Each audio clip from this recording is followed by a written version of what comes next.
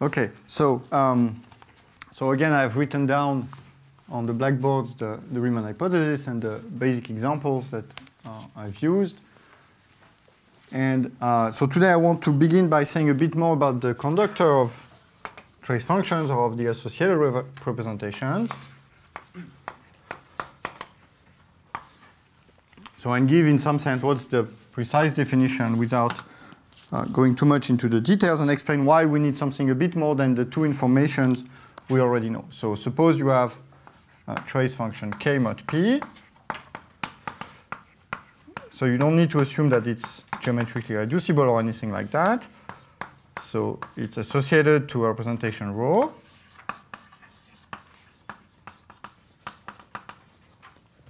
So some l-adic representation or whatever. And uh, so the complexity is really an invariant of the representation. For the trace function itself, you would just take the infimum over all uh, possible rho with trace function k. So we already know two components of this. So we want to measure the complexity, and we saw that, I mean, I said that we take first the, dimension of V at least. Uh, then there is this singular set, so it's uh, a subset of P1 of fp bar.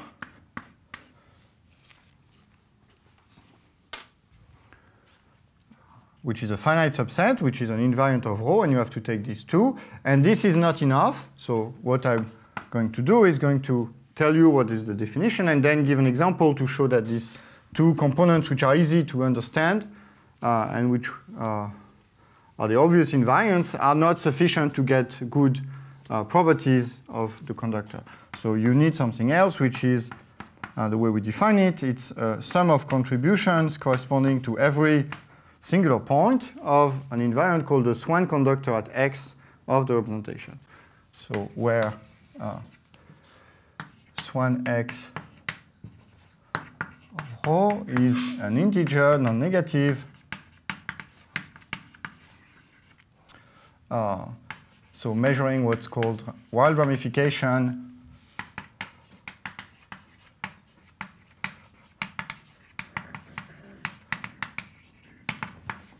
at a singular point.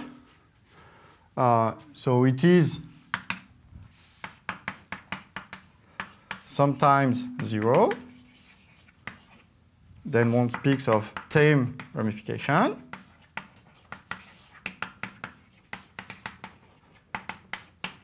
but uh, not always. So I'm going to give an example that shows that uh, if you want to have a statement like the Riemann hypothesis, so if you want a statement like this to be true with uh, an invariant, a complexity invariant, it would not suffice to define just the dimension of V plus the set, the number of singular points. This would not be enough. And then I'll give a few examples, but not much more. Uh, so this is an invariant that's uh, quite subtle and delicate. Uh, and in many applications, if you don't know the conductor and you need to estimate the conductor, this will be the, the hard part to control. Because it's really a subtle algebraic invariant of the representation, which is not so accessible from purely Diophantine or concrete properties of the trace function. So why do we need this?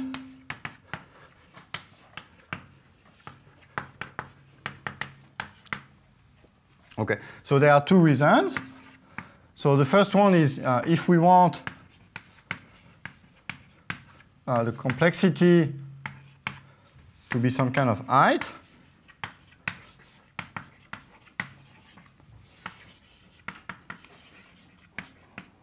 uh, so that, so what do we want? What does it mean to be a kind of height? That means we want uh, the sets of rho such that uh, the complexity of rho is less than x, and let's say rho is geometrically irreducible, modulo geometric isomorphism uh, is finite for every x. So this is the more precise form of what I described in the first lecture. I mean, I said this height has, I mean, this complexity has a height property. At that time, I had not said what it means to be geometrically irreducible. So this is the right thing to do. These are the building blocks of all uh, trace functions or all representations. And uh, you have to take modulo geometric isomorphism because otherwise multiplying by a scalar with absolute value 1 gives you infinitely many which are geometrically isomorphic to a given rho. But if you do it this way, then actually it's a finite set. So this would not be true if you just take the dimension of V plus the size uh, of the singular set. Then we have uh, so if you set, take the set of all rho where so rho is geometrically irreducible, but uh, the dimension of V plus the set set of singular points is less than x, so modulo isomorphism, geometric isomorphism as above, then this is not finite. And that's simply because it contains all uh, kind of over all rho associated to trace functions of the type EP of f of x, where f is a polynomial of arbitrary degree.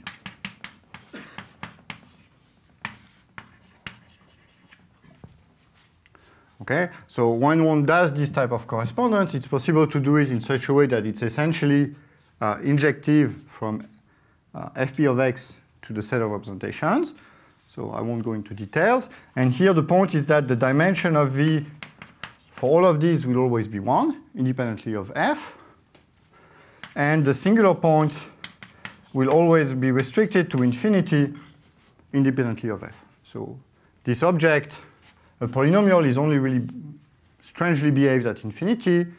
Then when we take the exponential, uh, every value which is not infinity behaves the same. So intuitively, it's somewhat clear that this is the only point that could be singular, and in fact it is, um, at least if f is non-constant. So this last part would be for degree of f at least. Okay, and so we have infinitely many polynomials because the degree is unbounded, and all of them have the same dimension and same singular set. Uh, so this set is infinite, but we want the height property to be true. So we need something else that, in this case, has to take into account the degree of f. So what's missing in this case is very clear. If we bound the degree of f, then we have a finite set, growing with p, p to the power d, but nevertheless finite. So here, so we miss here a bound on the degree of f, and it is a fact. So once the Swan conductor is defined rigorously and so on, uh, we have that the Swan conductor at infinity of such a rho, let me maybe call it rho f, so that associated to this will be the degree of f, at least if the degree is prime to p.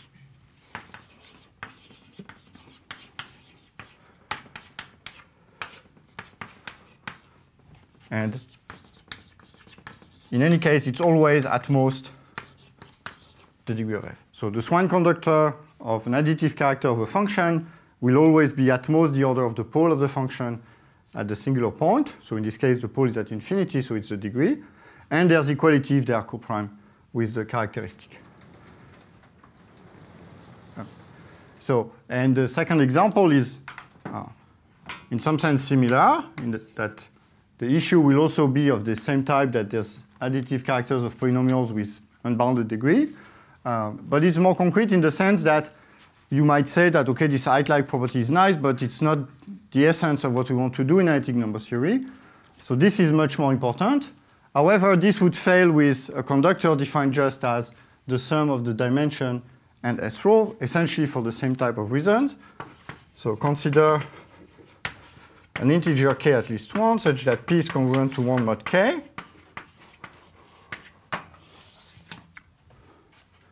Or consider k and then look at all the primes congruent to 1 mod k and define k of x to be ep of x to the power k.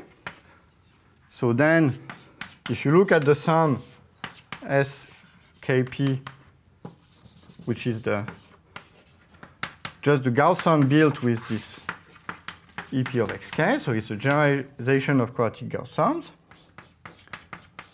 X in Fp. So it's a generalization of the fact that the quadratic Gauss sum is the same as the quadratic Gauss sum for the real character, that this, uh, under this condition, you detect the fact of being a case power using uh, characters of the quotient group fp star modulo fp star to the power k. There are uh, k such characters. One of them will give a trivial contribution, and the other ones will give k minus 1 Gauss sums. So this is, in this condition, the sum of k minus 1 Gauss sums. So by Gauss sums, I mean things like EP of x, chi of x, where chi will be of order uh, k and non-trivial.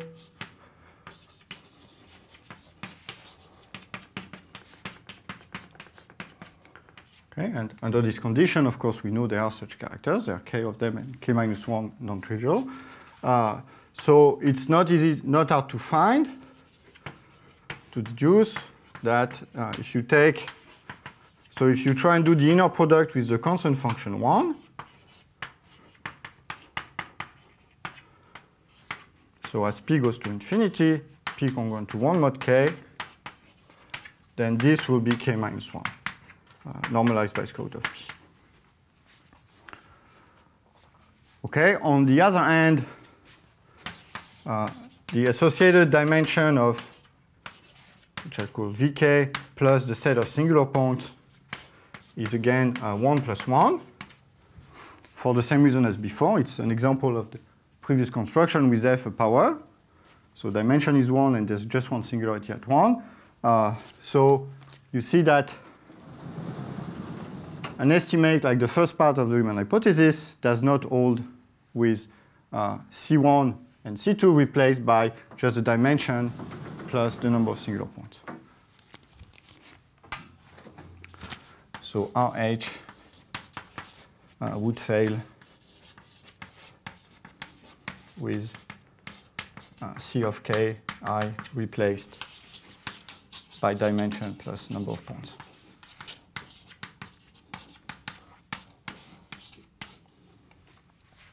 Okay, so it's clear that this is geometrically non-trivial. Uh, this is not constant uh, as x varies. Well, maybe it's constant with p is equal to 2. I don't know. Not even that, I think. No, because it's 1 at... Yeah, it's e of 1 over p for x equals 1, and it's 1 at x equals 0, so this is not proportional to a constant. So it is geometrically non-constant geometrically not isomorphic to the trace function 1, so we can apply the first part of Riemann hypothesis, uh, and this would not true, be true without this assumption. Yeah? So in both of these cases, the dimension of E is 1 in your example, so suppose that we restrict this set to dimension of E greater? That doesn't work either. So it, it would fail, for instance, with hyper-Kloosterman sums when R goes to infinity. But these are the simplest examples. So I don't want to go into more details about this because in some sense this is the trickiest part and analytically it's the one that's the most painful. Uh, so one tries to avoid it as much as possible. Uh, again, if you're working with well-known trace functions, meaning those you would find in a table or in a list of examples, then that means that these tables are only good if they include information on the Swan conductor. Um, so this is known. So let's go back to the examples. So here, uh, for additive characters, as I said, uh, if f is a polynomial, let's say, well, so if x is a pole of f, then the Swan conductor at x is at most the order of the pole,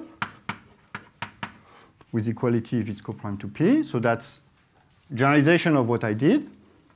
So we see here the feature that the Swan conductor is local in, in some sense. Uh, here it only depends on the order of the pole of f at this point. Uh, it's, it's local in a more precise technical sense that is sometimes useful. So here uh, the singularities are zeros and pole of f, but all the Swan conductors are zero.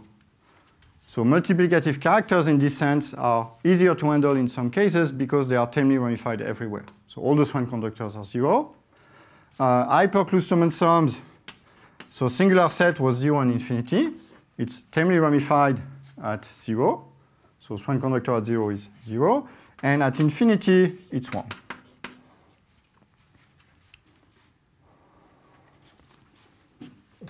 Okay. Uh, here, let's say that P does not divide the degree of F. Then the Swan conductor at every singular point will be 0. So uh, point counting functions are also tamely modified. And for the Legendre family, this is also um, Swan at 0 equals Swan at 1 equals Swan at infinity is also 0 at least if P is at least 5. And this actually is related, so if you know a bit of the analytic theory of elliptic curves, the exponent of the conductor of an elliptic curve defined over Q is always bounded by 2, at most 2, except for uh, primes p equals to 2 or 3, and this is the same type of behavior. So the fact that the conductor has exponent bounded by 2 is a, also a feature of tame ramification, uh, and in the case of trace functions, this uh, goes into this type of properties. So this is going to be typically true for any family of uh, algebraic varieties if the equations are defined over Z and fixed, and P goes to infinity. Uh, for P large enough, then everything would be tame. If you just count the number of solutions. Okay.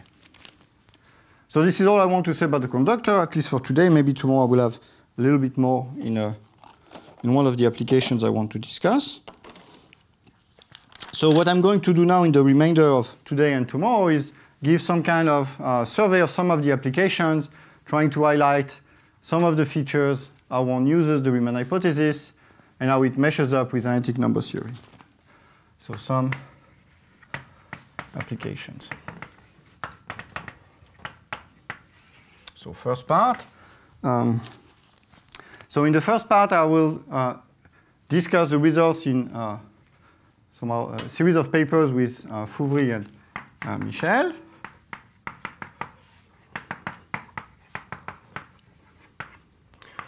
Which is where we started working with these objects, where uh, we are trying to understand their correlations with automorphic data. So the uh, motivating problem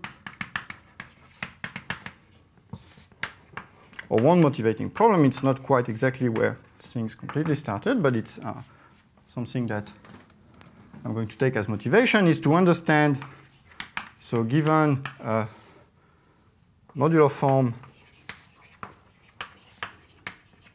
F uh, on a congruence subgroup, let's say gamma 0n. So this is uh, classical modular forms, subgroup of SL2Z but it could be a Maass form or holomorphic. So we have applications in all cases. Or it could in fact be Eisenstein or cuspidal. Again, there are applications of both cases, and I mentioned some of them, uh, with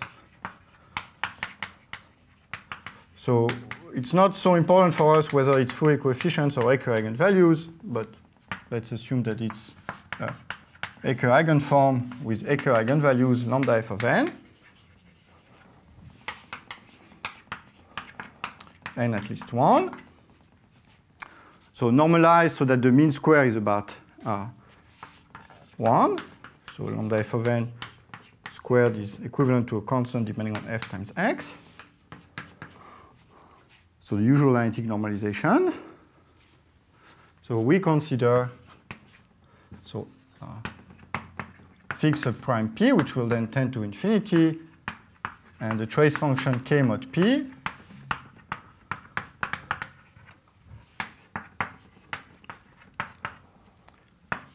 We consider sums like S, F, K, P, which is smooth sums obtained by comparing lambda f of n, so an automorphic uh, arithmetic function, Fourier coefficients, against this trace function, which we view as a function defined of all the integers by periodicity.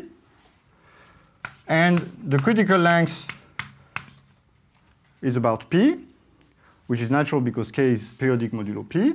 So we take a smooth cutoff at n over p. So this is a sum which you can think of as being between 1 and p, but with a smooth cutoff. And the estimates will be such that the sum could be a little bit shorter, uh, p to the 1 minus some small constant. Um, when n gets extremely large, so if the length was, let's say, p cubed or p4 or something, then you would just use periodicity and uh, replace this as a sum over a of k of a times the sum over integers congruent to a and apply known results on Fourier coefficients in arithmetic progressions to handle this type of thing. So where V is a smooth cutoff, which in fact can oscillate a little bit, but the first idea to have in mind is the usual picture, which I think Henrik Iwaniec has drawn on his blackboard every single time I've spoken with him, and which is the right way of doing these things to avoid uh, analytic issues until you really need to handle them, if you need to handle them. So, so we start with that. And we want to obtain estimate. So the philosophy is the usual one, that unless these objects are correlated in a strong sense, there should be some cancellation in the sum. So lambda f of n is roughly bounded on average at least in mean square. K of n we know is actually bounded by the conductor. So if the length is about p, you can expect in good cases to get square root of p uh, cancellation. And uh, we try to get some cancellation at least, which would show that automorphic data cannot be modeled uh, in an easy way with this kind of trace functions. So the goal is cancellation. So this can be seen as a challenge on so we think we know something about automorphic forms. We think we know something about trace functions. Can we actually show that we know something about them? Or it has applications. So I'll start uh, by discussing this kind of as a challenge, and then we'll see the applications. So a basic example that you can have in mind, or two examples. So actually the first one will immediately show that it's not a purely academic game. So a simple example is a multiplicative character. So k of n is k of n, where K is mod P and non-trivial, let's say. The Dirichlet character. Then because the length is P, detecting cancellation in that case, lambda f of n, chi of n, is more or less the same. So that's the right length because of the uh, conductor of the twist is p squared times n maybe if p is coprime to n. So uh, the sum in that case sf chi p uh, control subconvexity for the twisted L function at 1f.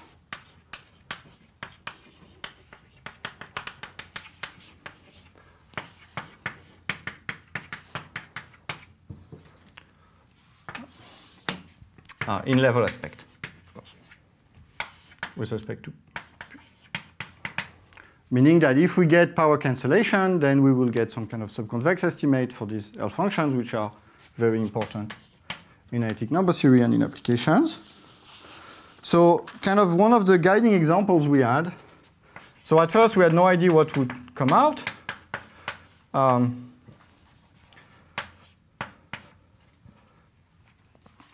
so I don't mention the example of additive characters. The example of additive characters is one that's very well known uh, due to, there's an estimate of Wilton which is easy.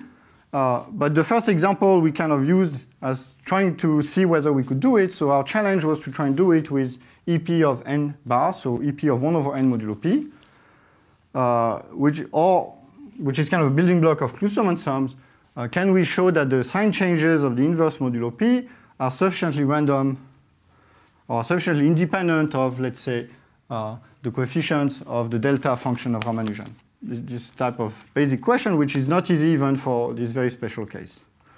So it was uh, one challenging example.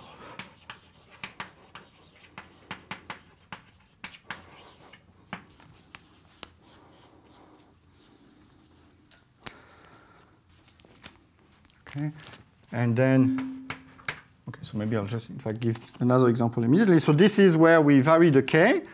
But uh, there's also, quickly, there are special cases of automorphic forms where you take, uh, for f, an Eisenstein series. So let's take the Eisenstein series at 1 half plus it, where t is a real number. Then uh, lambda f of n is the sum of a over b to the power it, where ab is equal to n. So strictly speaking, for t equals 0, we have to take the derivative, because this is literally 0, but I'm ignoring this. So for t equals 0, the Fourier coefficients are the divisor function, and therefore you get uh, the type of sum that we're looking at for e 1 half plus it, uh, k and p is a sum over integers mn um, at least 1 of k of mn, v of mn over p. So this would be for t equals 0. And in general, you have m over n to the power i. Okay, and these are very interesting because they are they give you special bilinear forms when you're trying to apply uh, combinatorial identities to detect primes. And the, the presence of the IT and the fact that we're going to get uniform estimates with respect to t to some extent allows you to balance the size of m and n in certain intervals. So you get special bilinear forms, but in great generality when the coefficient is k of mn, where k is a trace function. So this will be the application later.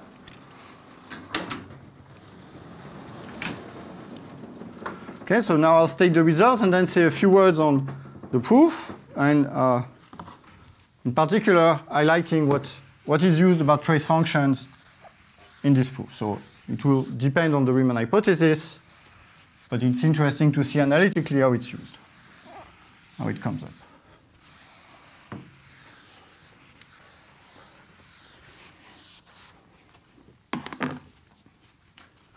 Ah, okay, so theorem.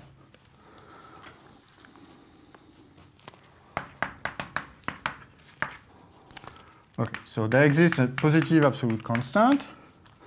I think we checked it can be taken to be 9, but I'm not sure, such that uh, for every prime p, for every k mod p, let's say geometrically irreducible, although this is not strictly speaking necessary, but um, with, so in the, in the Eisenstein case, so suppose t equals 0, you take the Eisenstein case, you have sum of d of n times k of n, n less than p essentially. So if then k is a constant, you're not going to get cancellation. Sum of d of n has no cancellation. And if k is an additive character, it also doesn't quite work. So uh, we assume that k is not an additive character ep of an in the special case if f is an Eisenstein series. So in the cuspidal case, there's no condition. And in the Eisenstein series case, this is the only exception. So when I write this, you always have to think uh, that the representation associated to it is not the representation associated to that, or you can think that k is not proportional to one of these, which is a weaker condition. Okay, then, so if I do this sum, so we get cancellation.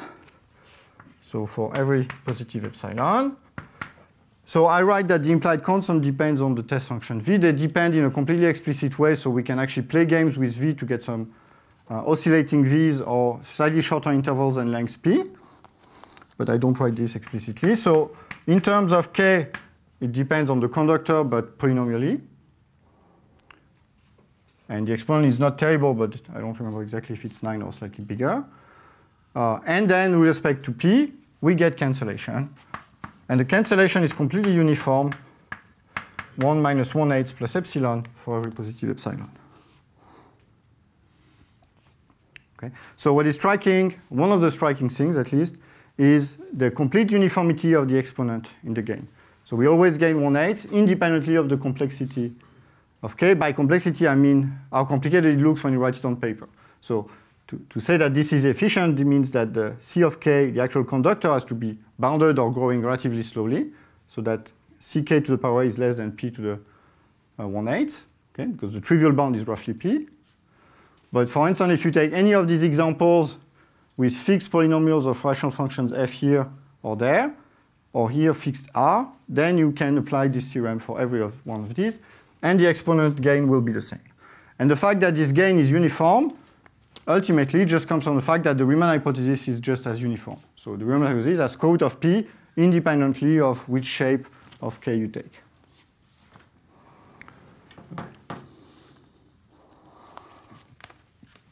Okay, so before were known. Uh, so of course the subconvex bound was known, and the exponent is the same as the best which is known in that case. Uh, is also due, I think, first to Bykovsky,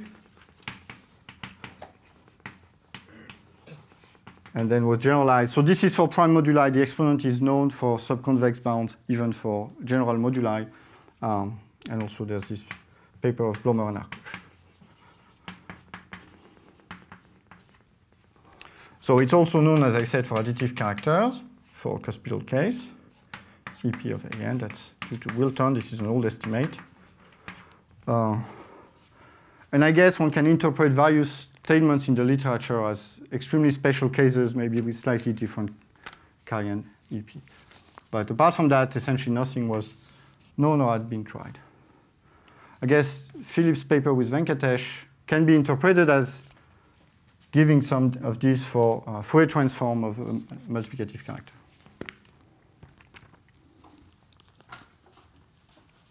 Yeah, I guess which is the same.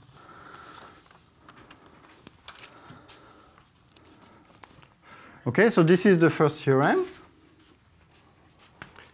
Now, as I said, because we can handle the so here also one doesn't see the dependency uh, on T when you take Eisenstein series, but it's under control, it's polynomially bounded. So we can use uh, this estimate for Eisenstein series, interpreting it as special bilinear forms together with extra ingredients coming from the Polya-Vinogradov method and combinatorial uh, tricks and identities like Heath-Brown's to uh, handle sums over primes.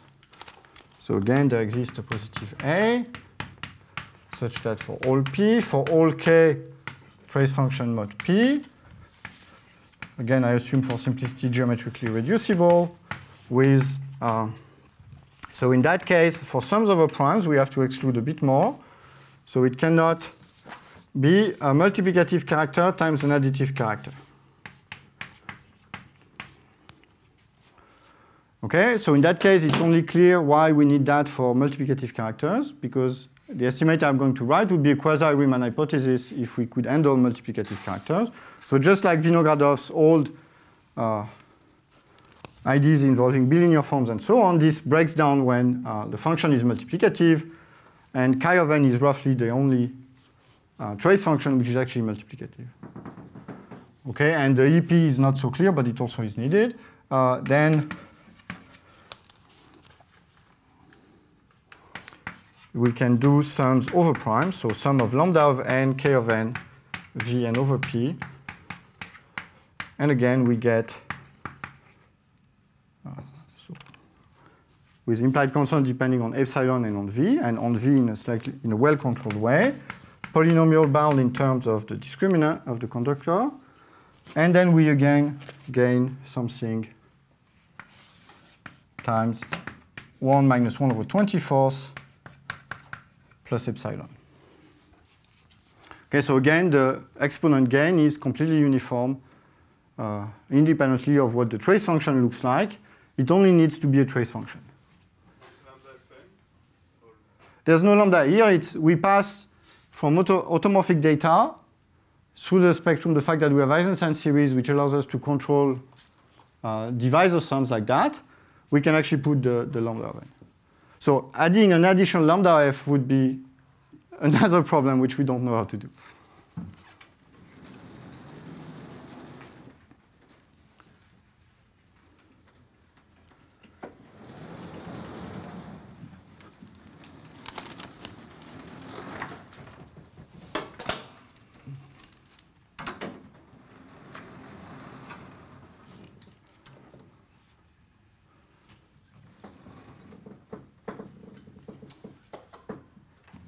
So there is no dependency at all on Ramanujan-Petersson type approximations. This is all valid for Maass forms and holomorphic forms uniformly.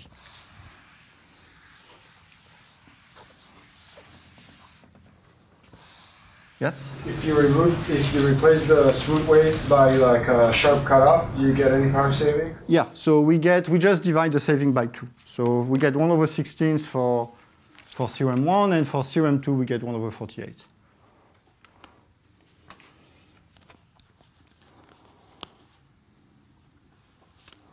Okay, so let me say some uh, highlights of the proof, not, not really even ideas because it's really quite long altogether.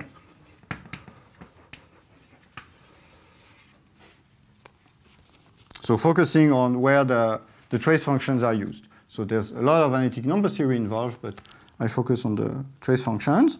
So on the analytic side, so I begin with theorem one. On the analytic side, we use amplification.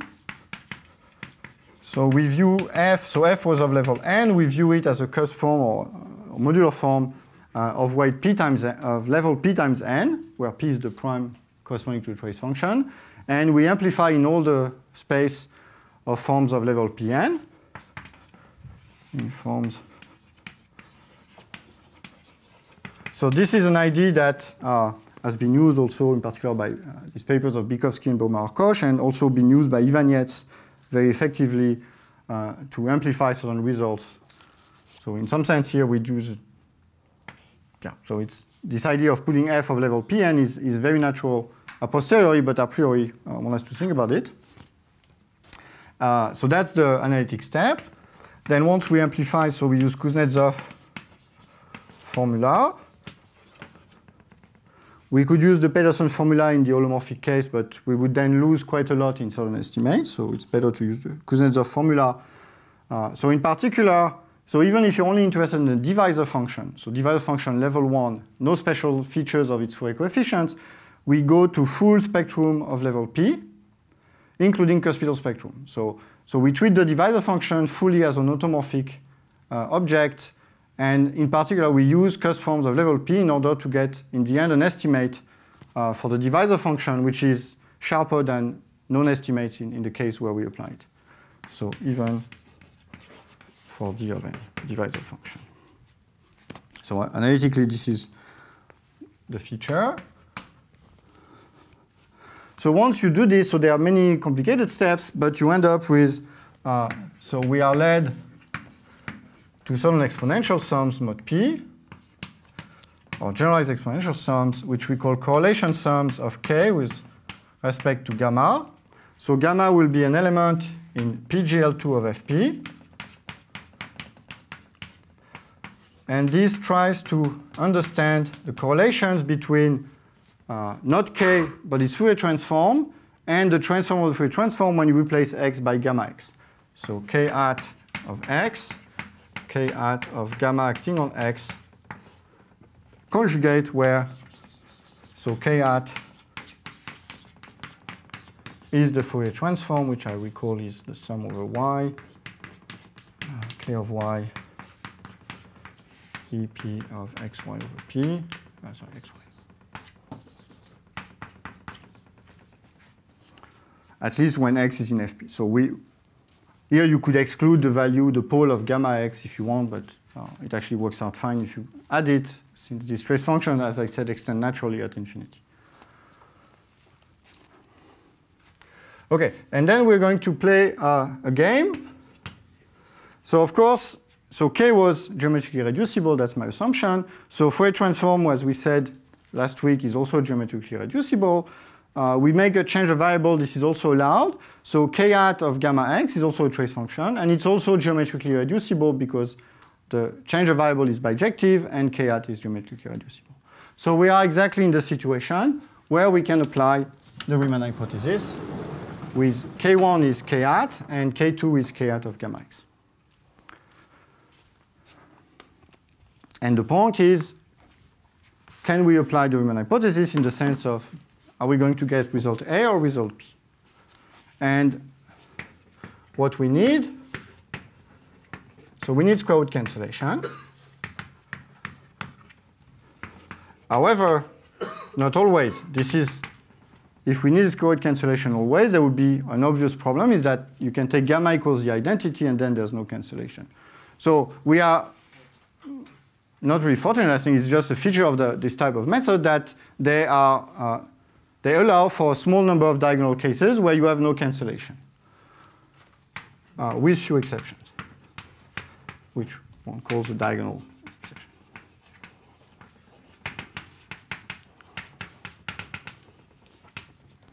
Okay, so then uh, what happens is we balance two facts. So which matrices gamma come into the argument? So on the analytic side, we don't get a sum over all matrices in PGL2 of FP. We get a sum over some specific matrices of relatively complicated shape, but which have one feature is that they are not algebraically structured in some sense. They, they do not form a subgroup. So from 1, meaning from the analytic argument, the gammas to control are not algebraically structured. I mean, they actually form algebraic families, but not subgroups.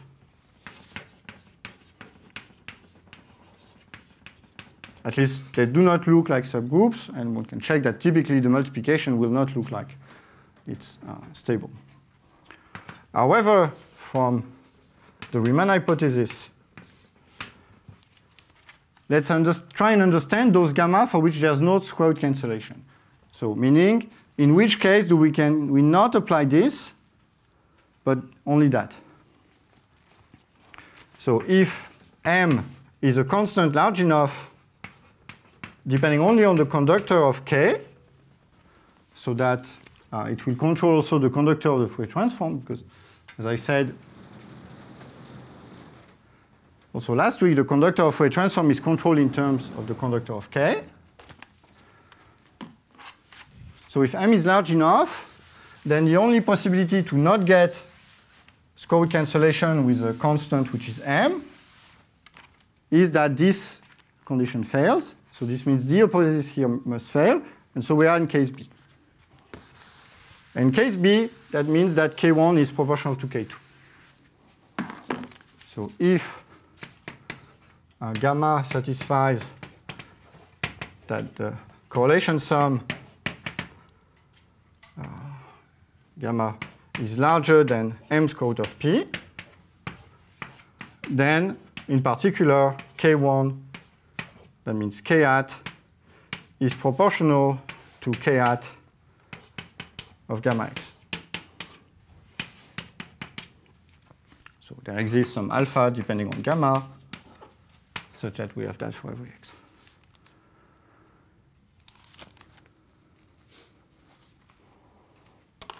yeah, I should say, I actually changed the notation here. So in the paper, what, no, that's the right notation, sorry. So we, we've sometimes changed notation in our various papers, so one has sometimes to be careful with. So whether this should be associated to k or to k hat is not entirely clear. So here I use the same definition as in the first paper. Okay, anyway, so we have this conclusion. This is a consequence of the Riemann hypothesis. So if m is large enough, so roughly speaking, m must be larger than 3 times C1 square C2 square, where C1 equals C2 is the conductor of the Fourier transform of K, then A fails, so B must be true. And that means in particular that there has to be this correlation. Okay. Now, the point of this is that this shows that the set of bad gammas, so this condition, defines a subgroup of PGL2 of FP. So the set of bad gamma meaning those for which star fails, is then a subgroup.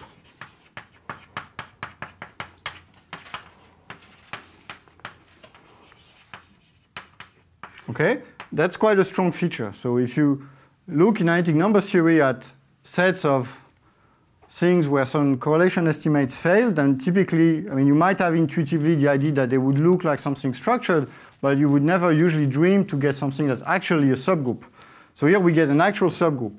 And then what we can do is we can use the classification of subgroups of PGL2 of FP.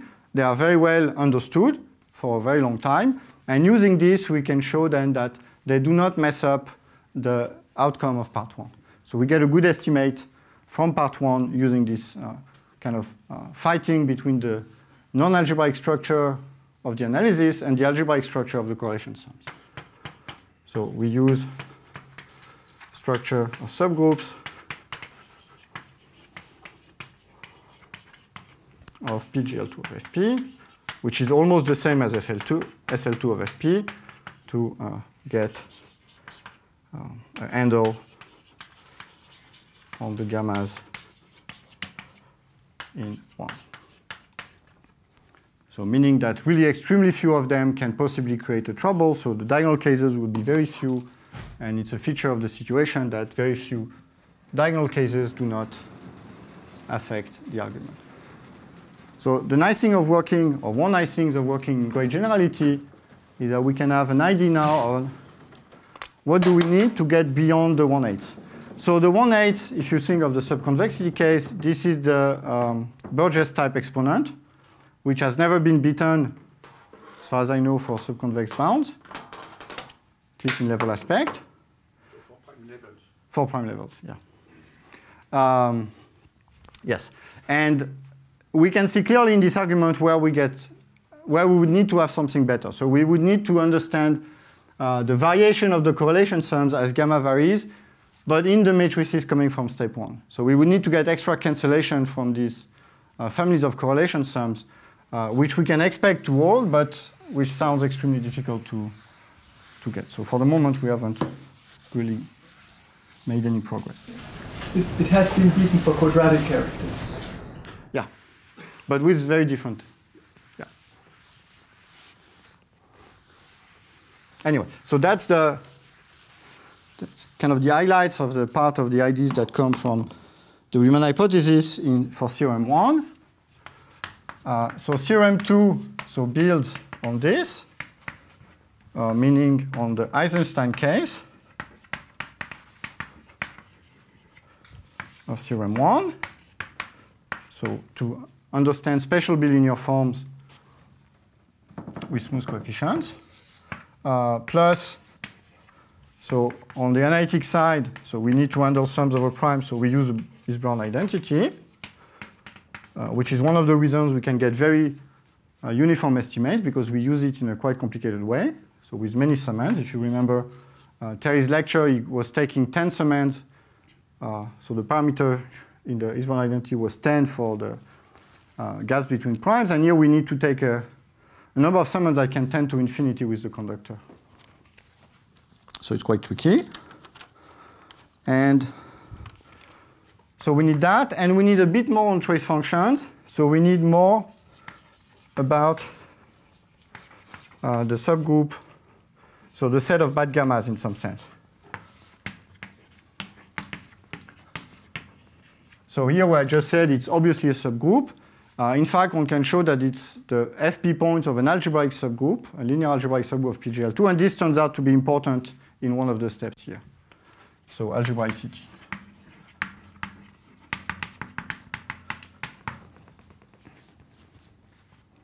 Okay, I don't want to go into this. So this comes into the Polya-Vinogradov method. So when we do kind of general bilinear forms, we are uh, led to uh, special cases where uh, gamma is upper triangular and we need to be sure that there are not too many bad gammas which are upper triangular and this turns out to be best handled by proving that it's an algebraic subgroup. Okay, so I don't have a lot of time, so I'll, I'll mention then a few additional applications. But first, an example. So, kind of a nice example. Uh, so, we have a set of bad gamma. So, you might ask, well, is this set of bad gamma, does it really exist? Or could you just assume that the set of bad gammas is trivial or something? Uh, it can exist and can be quite hidden and not obvious from the definition. So, let me give an example that we actually found purely experimentally, which is a posteriori kind of. I have no idea we found that, but. Uh, so it's one of the classical examples that has been studied by Katz, uh, is to take a Kloosterman sum at n squared, then we take its square minus 1. So it's like the symmetric square of the Kloosterman sums, but with argument n squared. So if you use the standard notation of uh, Kloosterman sums SABP. So this would be SNNP minus P, uh, minus 1 square. So the fact of taking NN means that if you just have one factor for the Kloosterman sums, it's N squared. Okay? So if you do this, then one shows that uh, for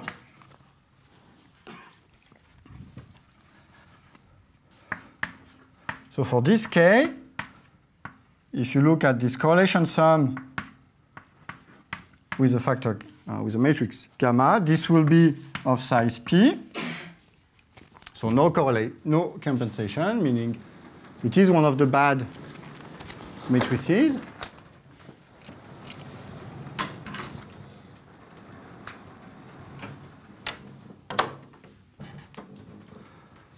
For all gamma which are elements in PGL2 of FP which permute the, uh, 0, infinity, 4, and minus 4. For gamma in the subgroup H, which is a set of gamma in PGL2, such that gamma permutes. So the singular points are 0, infinity, 4, and minus 4. I mean, this is not obvious. So these are the singular points of the Fourier transform of this Kloosterman sum. So this is not obvious, but follows, for instance, from uh, all the work of Katz and Laumon, which allows you to determine the, Fourier the singularities of Fourier transforms. And this, I guess it's an exercise that can be used if you teach algebra 1. Uh, so this group is a diagonal group of order 8. So there's something to do with biratio being uh, of one of the special values. So if you have four points in the pro projective line, so usually there are not so many matrices which permute the four points, except when they have biratio, which is of special type, and this is one of them.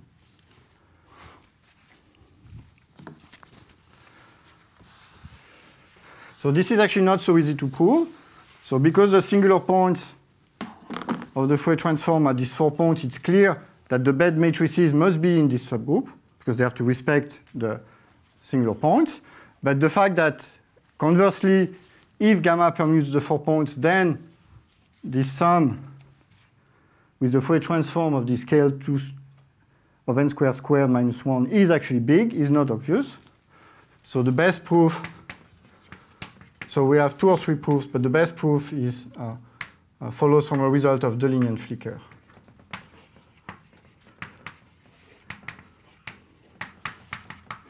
So we have a computer algebra proof, and David Zywina sent us an automorphic proof. So that's a kind of a nice example.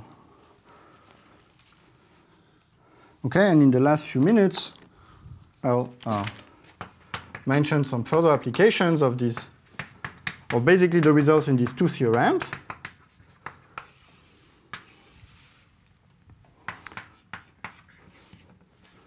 So some of these applications are, are new things. So one is the equidistribution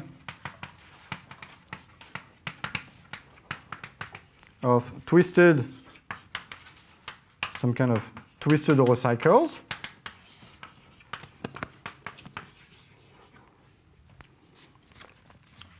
So I'll present this quite quickly. So this is the the application actually I use, or we used as motivation uh, in this uh, PISA survey paper that I mentioned in the first talk. So this is what I, I was giving that talk in PISA and I used that as somewhat geometrically accessible even for an audience not of number theorists. So you can find more details by reading the first few pages of this survey. So the idea is really following. So we have the fundamental domain we are looking at height 1 over p. We're looking at the points w jp equals j plus i over p, where j is between 0 and p minus 1. So all these points correspond to points in the fundamental domain. Let's call them tau jp in f, so the usual fundamental domain, corresponding points.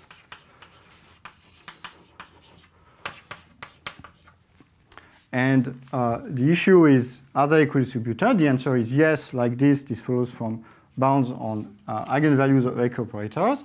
But what we do is we twist kind of the sampling measure, we twist it with a, a trace function k of n.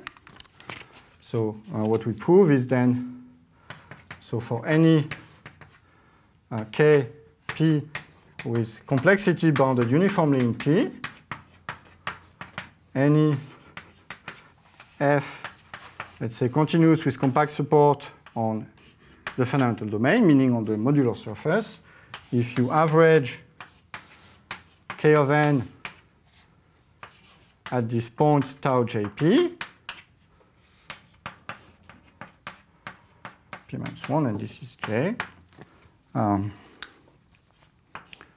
this is going to go to 0, so if uh, k is not constant, if k is not uh, additive character.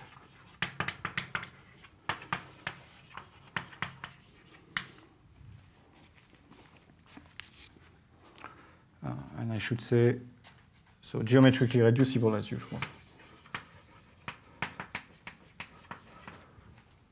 So a consequence of this, if you use uh, for k of n example 3, so counting functions of uh, how many times the polynomial eats a given value.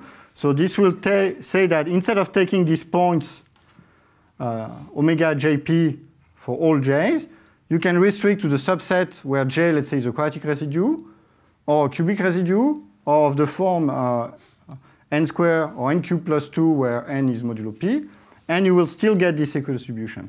So you cannot force these points to lie, let's say, below uh, the ordinate 2 for most of j by just taking those j which are values of a polynomial. This is the type of thing that it means. So it's geometrically quite nice.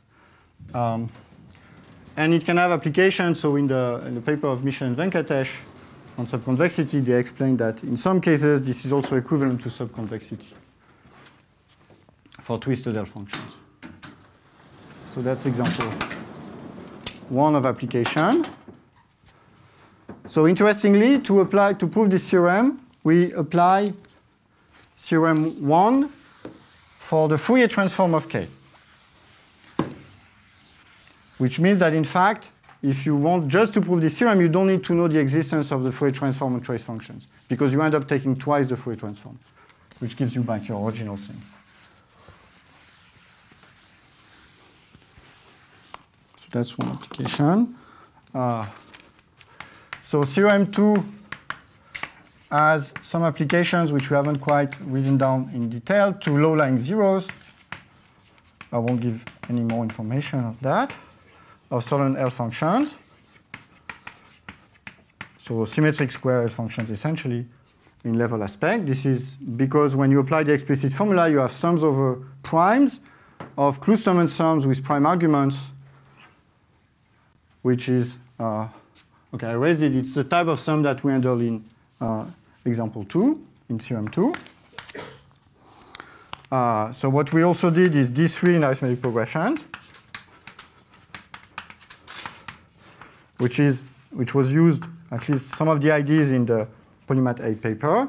So here the point was we have a much more streamlined proof of the theorem of Friedlander and Iwaniec on uh, getting exponential distribution larger than one half for D3 in arithmetic progressions uh, with a much better exponent than even Heath-Brown's, which had improved Friedlander-Iwaniec.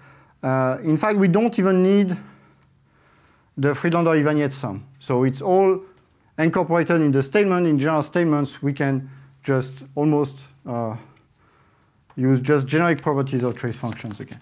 So it's streamlined and stronger compared with Friedlander-Iwaniec and Heath-Brown. But it's only for prime moduli, so So it will be a bit more complicated to do for the general moduli. Uh, example four.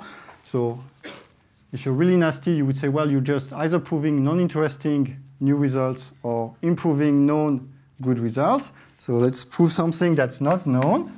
Uh, so this is something which is still work in progress with Blomer and Milicevic.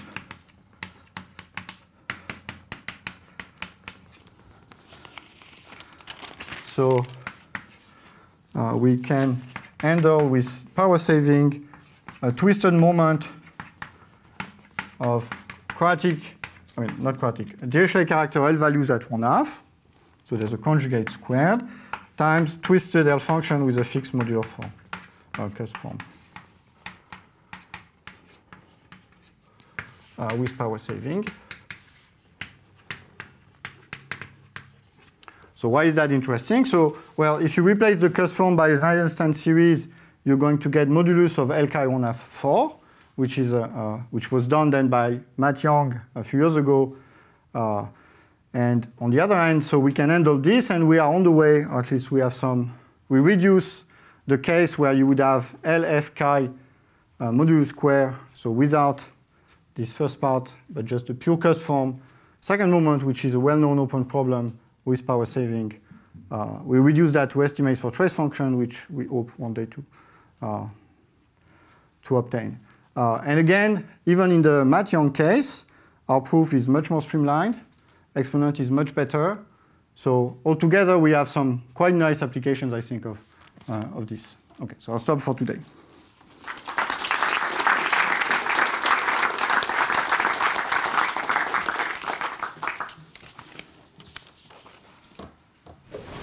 Uh, questions? Comments? Is it hard if the trace functions are not geometrically reducible? No, I mean, I just put it, so in the proof it's useful because you see we, these correlation sums are not linear. So, but in fact, the estimates, the final estimates are linear. So you would just decompose and apply it to every component.